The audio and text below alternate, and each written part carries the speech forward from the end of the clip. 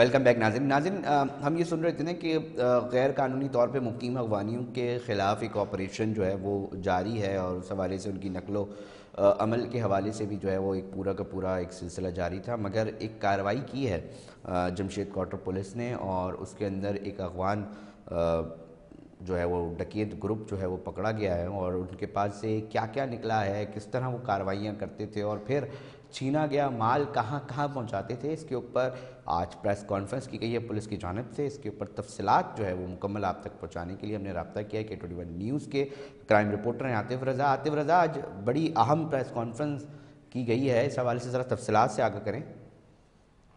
जी अली बिल्कुल ये Jamshed quarter police ने कार्रवाई करते हुए बैनुल सिवाई डकेत गिरोह है, जिसको अगवान गिरोह भी कहा जा रहा है। अब बेसिकली इसको बैनुल सुबाई कहा जाए या ये तो बैनुल अकवामी सूरत इख्तियार कर गया ये वाला ग्रोह कि इनके ग्रोह को गिरफ़्तार, इनके ग्रोह के तीन कारिंदों को गिरफ़्तार किया गया है, और इनके पास से साठ के करीब मोबाइल फ़ोन, असलाह, लैपटॉप और दीगर कीमती सामान बरामद हुआ है। मुलजमान का ग्रोह बताया जाता है कि ये दस रुकनी ग्रोह में मुश्तमिल है और इसमें से तीन जो गिरफ़्तार हुए सरगना समेत इन्होंने दौरान तफ्तीश पचास तकरीबन जिसे कहते हैं ना सैकड़ों के करीब वारदातों को न सिर्फ़ इंकशाफ किया है बल्कि इसके साथ साथ इन्होंने ये बताया है कि ये जो यहाँ से जो चीज़ें छीनते थे बिलखसूस मोबाइल फ़ोन जो है वो जो यहाँ से लेकर दूसरे शहरों और दूसरे सूबों में न सिर्फ़ जाते थे बल्कि ये अफ़गानिस्तान में भी ले जाकर आतिफ रजा साहब बात यह है यहाँ पर सबक निगरा वज़ीर वज़ीर थे, अहमद शाह साहब, वो फरमाते हैं कि जी, मेरा मोबाइल मेरी बेटी का छिनता है, वो अफ़गानिस्तान से मिलता है। काफ़ी मोबाइल छिनते हैं, उनकी लोकेशन जो है अफ़गानिस्तान के शहरों की आ रही होती है। तो ये तो एक अजीब ही तमाशा है ना। अली, बिल्कुल, ये तमाशा काफ़ी अरसे से चलता आ रहा है और गाय बगाई कुछ ना कुछ छोटी मोटी इतलात आती थी। लेकिन आज तो बाकायदा ऑफिशियली पुलिस की एक कॉन्फ्रेंस है, जिसमें बताया जा रहा है कि ये गिरोह बाकायदा कितना मुनजिम तरीके से ना सिर्फ़ काम कर रहा था और कोई एक तो नहीं। अच्छा इनकी, इनका तरीका का भी बड़ा जिसे कहते हैं ना टेक्निकली बहुत स्ट्रॉन्ग था। ये ज़्यादा अरसे एक मकाम पे नहीं रहते थे, अपनी रिहाई तब्दील करते रहते थे। सही है, और इनके पास से न सिर्फ़ एक गाड़ी भी मिली जिसका रिकॉर्ड चेक किया जा रहा है। पुलिस का ये कहना है कि जिस दिन के बाद इन्होंने रिहाइश इख्तियार की थी, उनसे भी मालूम मिल जाएगी। तो अली, अभी हमने कुछ दिनों पहले ये वाली बात की थी कि हमारे यहाँ ये रिकॉर्ड मैनेजमेंट सिस्टम है ही नहीं कि कौन कहाँ आ रहा है, किसके पास जा रहा है, कैसे रह रहा है, उसके बाद लेकिन वारदात करके वो दूसरी जगह चला जाता है, शहर से बाहर चला जाता है, फिर वापस आता है। तो इसको हमें अपडेट करने के लिए बहुत ज़्यादा संजीदगी की ज़रूरत है। अभी हमने बीच में सुना था कि कितने सारे जो है रेफ्यूजीज को जो है यहाँ से जो है जो गैर कानूनी तौर पर यहाँ पर जो रिहाइश पत्नी रखवानी थी, उनके खिलाफ कार्रवाइयाँ अमल में लाई गई। बहुत हमने कार्रवाइयाँ देखी, पुलिस की जानब से भी दीगर इधर। लेकिन अभी अभी भी ये मुनजम तौर पर ना सिर्फ़ मौजूद है, बल्कि अपने जराइम बहुत बखूबी अपने अंजाम दे मगर आतिफ रजा फिर वही सवाल होता है ना कि फिर वो जो बड़े बड़े प्रोजेक्ट्स की बातें की जा रही हैं कि जी सेफ़ सिक्योरिटी प्रोजेक्ट कब लगेगा, एक आम आदमी का एक मुतालबा बड़ा अरसे से सामने आता है। फिर बात की जाती है कि जी दुनिया आईटी के आईटी की मदद से पता नहीं कहाँ से कहाँ पहुँच गई है। ये अब हम तक अभी तक तय नहीं कर पा रहे और ये वो शहर है जिसके बारे में ये कहा जाता है कि जी सिंध का दारुलखिलाफा है, ये चलता है तो पाकिस्तान चलता है, ये माशी हब है। तो ये कहाँ गलतियाँ हो रही हैं? कहाँ आपकी बैठकें होती हैं पुलिस अफसरान से? उनसे बातचीत होती है तो उनको क्या रुकावट का सामना है? अली, आपकी बात बिल्कुल ठीक है। ऐसा ही है, हम लोग यहाँ पर कोई भी बातिया होता है ना तो हम उसको कुछ अर्से तक तो बहुत ज़्यादा हाई करते हैं उसके बाद हम लोग उसके ऊपर बात करना भी छोड़ देते हैं और लोग सोचना भी छोड़ देते हैं। अब ये चीज़ बहुत ज़्यादा अलार्मिंग है कि कराची में किसी एक राह चलते बंदे से कोई चीज़ छीनी जा रही है, वो ना सिर्फ़ दूसरे शहर बल्कि दूसरे सूबों के साथ साथ अब तो मुल्क से बाहर उसकी लोकेशन आ रही है।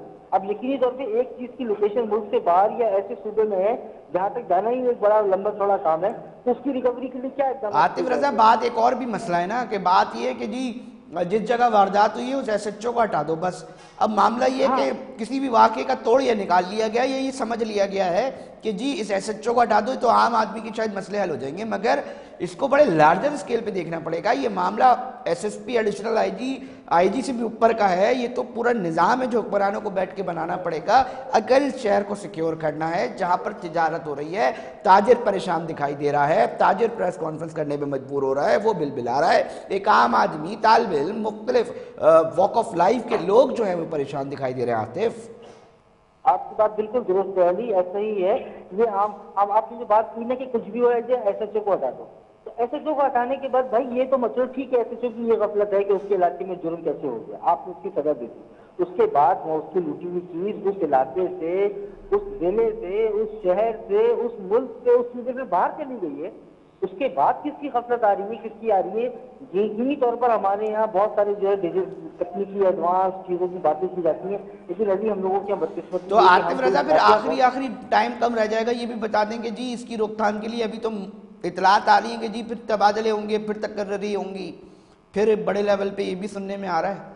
बिल्कुल अली ये तो एक अंदर की बात है अभी आपको देखा कि नई हुकूमत की तश्कील हो रही है।